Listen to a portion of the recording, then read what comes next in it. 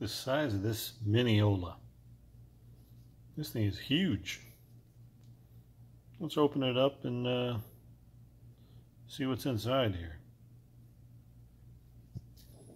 Well, I had to put the camera down because it was a little tricky to peel, but it's fairly easy to peel.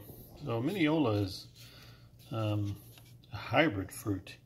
This is a mix between, I believe, a tangerine and uh, pomelo.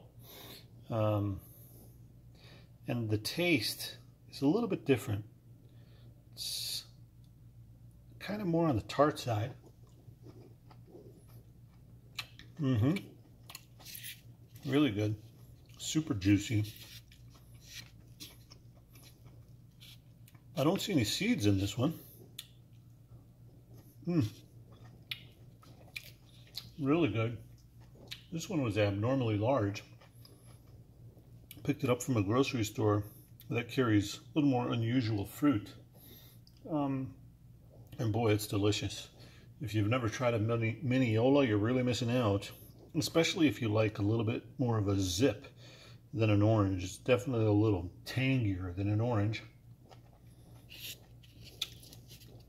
And different than a tangerine.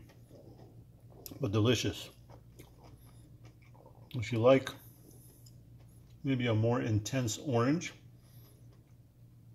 You'll love Minneolas. You should give it a try.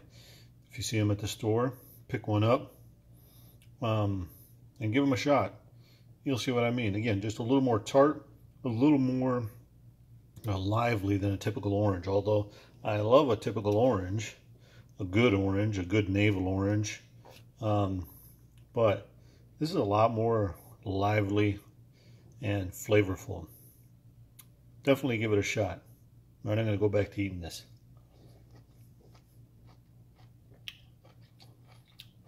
I'll talk to you on the next video.